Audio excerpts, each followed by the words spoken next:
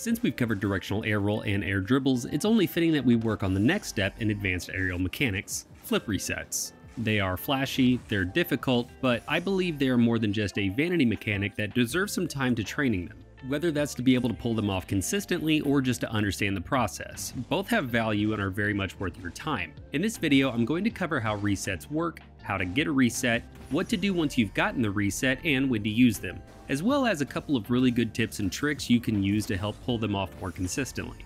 Now, I'm going to assume that since you clicked on this video, you already know what a flip reset is and I've left a timestamp in the description that jumps straight into how to train them. For the uninitiated, a flip reset is when your car gains its ability to jump or flip after touching the underside of the car's hitbox on a solid surface. That could be the wall, the ceiling, or in this case, the ball. Now, the common sentiment is that the flip is gained by pressing all four wheels on the ball. This isn't actually true and is instead achieved when the ball makes contact with the bottom of the car's hitbox at the center of mass. That said, for the purposes of understanding what to do and to give yourself a tangible visual reference of where to make contact on the ball, attempting to land all four tires is going to yield the best results. As is tradition, I don't just want to turn you loose on training flip resets without first giving you some scaffolding steps to build up to the final mechanic. There are a good handful of things I believe are not just important to learning and becoming consistent at flip resets, but are incredibly valuable tools in your overall car control that you'll be able to implement at various different aspects of your game. So first things first, we need to talk about bindings. For the best result, you're going to want to have a bound directional air roll. Either left or right will work, and as always, you're encouraged to pick whichever one you prefer. That said, yes, you can do this with standard air roll, but I'll warn you, unless you are highly proficient in using it, those seeking the best and simplest forms of controlling the z-axis rotation of the car will have a much easier time with directional air roll since it automatically turns the car for you without any additional stick inputs. Now that we have our bindings, let's take a hot second and go over something I haven't found anyone else talk about, but it's, in my opinion, something everyone should take into consideration when trying to perform this mechanic. Because of the physics of Rocket League, a lot of the game's interactions can be thought of either as controlling the direction of momentum or the transfer of momentum from one object to another. While we'll certainly be getting into the latter with the execution portion of the reset tutorial, we first need to look at the former, controlling momentum. Before we get into controlling the momentum of the car as it flies in the air towards the ball, we need to break it down even further and discuss input accelerated movement. As if Rocket League's ball and car physics aren't enough to deal with, we also have input accelerated movement meaning that the car, when given a directional input while in the air, does not start at its full movement speed and instead ramps up to its full speed over the course of a second. So if I jump, hold my left stick to the right, you can see that my car begins to turn slowly and then takes a moment to reach its full turning speed. Now here's the next bit of totally awesome information pre-established momentum. Once I let go of my directional input, my car still continues to turn on an established course of movement before coming to a stop. That doesn't just apply to stick movement, but it also applies to directional air roll, just not at the same level. Another thing to note is that we can actually speed up this process in regards to things like backflips and front flips by boosting at certain points during the rotation, something that we can use to our advantage as we start going for resets. Regardless, why I'm bothering to mention any of this is because when you're up in the air, adjusting your car to make contact for a flip reset, Knowing that you actually need to let go of your input sooner than you might think could be the difference between getting your reset or bouncing only two of your wheels off the ball. Okay, so now that we've got all that out of the way, let's start training our resets. As always, I've put together a progressive pack that you can use to follow along with this video or come back to if you need some references. Before we get into those, however, let's talk about where we want to be making contact on the ball. You can get a reset anywhere on the ball, but just because we got one doesn't mean you'll be able to do anything with it. For that, we'll want to focus on making contact that provides both the reset and the best recovery for a follow-up. Ideally, we want to be making contact on the lower third of the ball. I found that attempting to make contact on the ball with my back wheels at around the equator or halfway line of the ball gives me the best results. This ensures that when I make contact, I won't be bouncing the ball away from me and will stay on a relative flight path with the ball. If you're more on top of the ball, you're more likely to hit it down and away from you and will be unable to make a good follow-up. Likewise, too far underneath the ball isn't great either since you'll be carrying the car's momentum through the reset and will now be ahead of the ball instead of behind it for your follow-up. The best way I found to start training flip resets doesn't actually involve the ball. Instead, I'd like you to look at resets the same way you would ceiling shots. If you go about them the same way, you can effectively train the movements needed to put your car in position for a reset. Shot 1 is set up so that you can drill these movements. Simply jump off the wall just after the half pipe, boost towards the ceiling, and try to make contact with the ceiling with your wheels as flush as possible. Remember to hold power slide as you make contact because this will be important later. For those who are more comfortable with air roll, then you'll want to be aware that depending on which wall you start from can determine whether or not you need more or less rotation during the setup portion. For example, since I primarily use air roll left, coming off the right wall means that I have to roll my car over one and a half times, whereas on the left wall I only need to roll it over once. Regardless, drilling these movements will be incredibly beneficial to you once you start going for resets off the ball.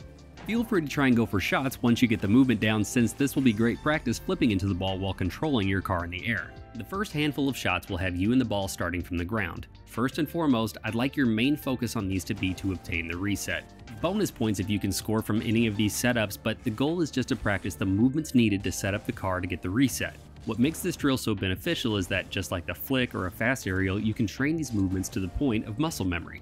Even though we'll be starting from the ground, all of these principles and timings perfectly translate to attempting these off the wall, since the best time to make contact with the ball is when it's up in the air, reaching the apex or the peak of its upward arc, we can drill our timings on a smaller scale and work our way up. Because I like to use visual references as much as possible, I want to share what's worked best for me. For the first shot, we want to jump and boost into the air, attempting to match the height of the ball. A good indication of when to stop boosting is as the ball's reaching 0 Gs at the top of its flight. Just before it would begin to start falling, this is when we want to start rotating our car in anticipation to make contact. Keeping in mind the aforementioned accelerated movement and momentum, you'll want to rotate your car with air roll and pull the nose of the car down towards the ground. I recommend doing each of these movements one at a time. As you get more comfortable, you'll be able to pitch the car down and rotate at the same time, but if you're just getting into training these for the first time or have been struggling in the past, then this is what I suggest. You'll want to be doing all of this relatively close to the ball. Spacing is important since we want to be close enough to make contact but not so far away that we're trying to catch up to the ball and potentially bounce it too far away.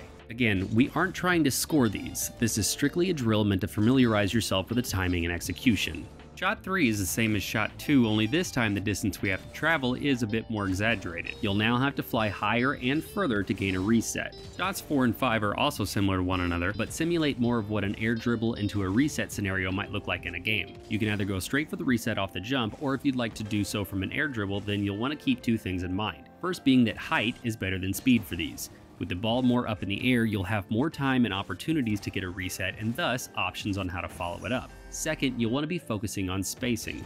Boosting into the ball a bit can help create that spacing, but you'll want to be cautious not to hit it so far away that you can't catch up to it and get a reset. Admittedly, shot 6 is where I anticipate people will spend most of their time since this is what we would consider the traditional wall-to-air dribble setup. The beauty with this setup is that I've placed everything in a way that allows for total beginners and more adept players to get the most out of this one shot. I have a lot of things that I want to discuss here since this is what most of you will be going for, so let's dig in. How do we set up a flip reset? As we previously mentioned, spacing is one of the most important aspects of getting a reset. We need to hit the ball hard enough for the touch to register the reset, so having room to build up a little bit of speed before contact is ideal. There are a ton of different ways to create spacing from the ball, and each varied depending on the angle, setup, and speed. For now, let's go over the simplest ways to do this. Simply jumping the moment after you make contact or even during contact does a great job of popping the ball out off the wall and creates the spacing needed to move in for a reset. Now that we have the ball in the air, we need to line ourselves up for the reset. I encourage practicing each one of these as it never hurts to be able to do this in as many different ways as you can. You only benefit to gain more control overall, so don't feel like any version of this is less valuable than another. To start, I recommend popping the ball off the wall and in the air, rolling the car into what I would call a neutral position, in which the car is up and in the air with the wheels facing away from you. Just like we did on the ground, this is your opportunity to make sure that you're in line with the ball's flight path and ensure you only need to make minimal adjustments to your car for the reset. Same as before, we want to float up or boost up with the ball until it begins to lose its upwards momentum roll the car over, pull back on the nose, and give a short puff of boost into the ball. For the first few of these, don't concern yourself with trying to score, but instead continue to focus on just getting the setup and contact as consistently as you can. From this setup, you don't even have to air roll if you don't want to. Simply jumping off the wall and flying towards the ball backwards is another great method to practice, just keeping in mind that you'll want to do all the other things the exact same way, matching the ball's height, pulling down on the nose, and boosting just a little before contact. A lot of being able to successfully get a flip reset involves a great deal of anticipation. Just like going for a regular aerial hit, we want to spot in the air where we anticipate making contact with the ball. What makes this difficult, of course, is the number of adjustments we have to make to our car in order to put the car in the correct position and orientation necessary to get a flip reset. As you continue training this mechanic, both with the shots in this pack and in free play, you'll want to be looking towards how and where you could meet the ball in the air. Much like going for air dribbles, how you follow the ball either off the wall or from the ground will be crucial. For this reason, you'll want to make sure that you're lining yourself up with the anticipated flight path before you begin using a large amount of boost and adjustments. A great tip I found was that if you need to boost either to reposition or catch up to the ball, try and only do so when your nose is pointing towards the ball, whether that's right side up or upside down. Now then, we've practiced our setups, our movements to get the car in position, and have begun getting resets. What the hell do we do with it? Before we answer that question, we first need to address another aspect of flip resets that other tutorials don't mention, which is what to do while we're getting the reset. That's right, there are things you could be doing during the moment of contact that can affect how you both get your reset and how you'll be able to follow it up. In this regard, I'd like to present the argument that flip resets are as much of a recovery mechanic as they are an offensive one. By thinking of it in this way, we can apply things we know about recoveries to flip resets. The next thing is something that I spoke about earlier, which is accelerated movement. Since you're going to be colliding with an object, impeding your car's established momentum, turning and adjusting out of the reset means you'll have to do so from square one in most cases. From my knowledge, there are two ways to combat this. First, as previously mentioned, directional air roll ramps up to its full rotation speed much quicker and thus can be used the moment after making contact to reposition for a follow-up. Second is landing on the ball while holding your left stick either left or right, turning your car on its x-axis before, during, and after impact. Doing so ensures that the momentum of the spin remains intact during impact and can then be used to recover and take a shot. Like I mentioned, thinking about flip resets the same way you think about recoveries can lead to looking at how to get them differently, whether that's from an air dribble with low boost or needing to land on one of the sides of the ball depending on where you need to be for your follow-up. Regardless, there is no one way to get a reset. Players like Arsenal even started approaching them for more straight on, only pulling back before contact to get a reset instead of rolling the car over beforehand. The fact is, as long as the bottom side center of mass makes contact with the ball, you'll gain a reset. What you do with it afterwards is up to you. I regret that this doesn't apply to everyone, but for my PC players, you have some really great tools at your disposal that I wanted to bring up and can help you in your training process. Both are part of the BakkesMod plugin, so if you don't already, you'll want to download that. The first thing is the car color flip indicator found in the free play tab. This will change your car's color depending on whether or not you have a flip available. The great thing about this is that when you're going for flip resets, the car will instantly change colors the moment you have a flip again. This is a great training tool since you won't have to guess whether or not you got a flip since the game will automatically provide that feedback for you. The second is going to be an additional plugin called Free Play Checkpoint. This can be used to either practice your setup, your touch into your reset, or my favorite, setting it the moment after you get your reset so you can practice recovery and follow up. Regardless of platform, I have a shot included in the training pack that starts you off in the air in which you'll need to boost towards the ball and flip into it for a goal. I recommend trying this inverted as well as spinning so that you can gain some experience into how your car moves and in what direction you'll go once you've initiated a flip in the air. I hope this video helps you on your journey to learning flip resets. I know I've gained a lot of consistency and perspective after working through a lot of this stuff in this video, so please let me know in the comments how it goes for you. I have plenty more to come regarding Rocket League mechanics, so I hope you'll stay tuned, and until next time, get out there and work on your flip resets.